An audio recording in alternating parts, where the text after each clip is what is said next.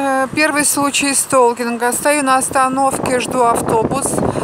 Вижу, ко мне направляется в очень решительном виде одна женщина, мама одного сталкера, которую я увидела однажды, потому что он, э, этот сталкер, который я видела, мне часто очень передо мной, э, ну как он, переходил мне дорогу, демонстрировал свое присутствие всегда.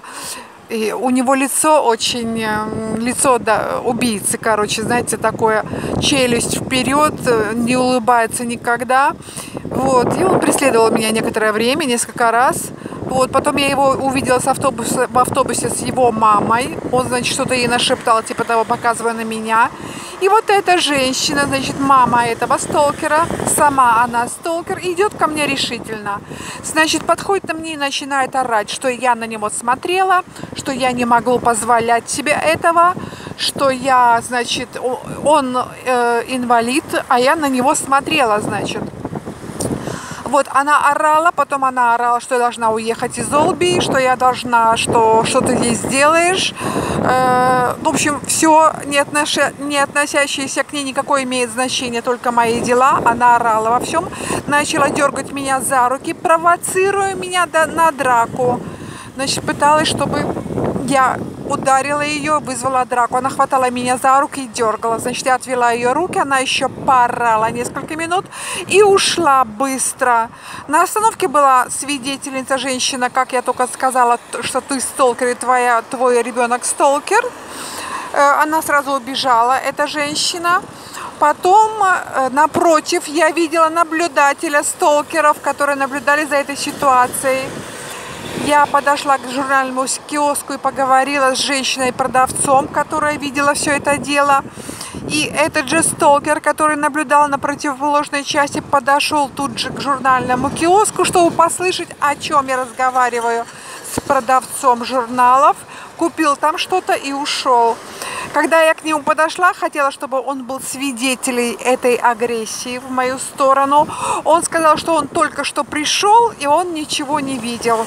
Ну, естественно, он не мог сказать дальше. Ничего другого.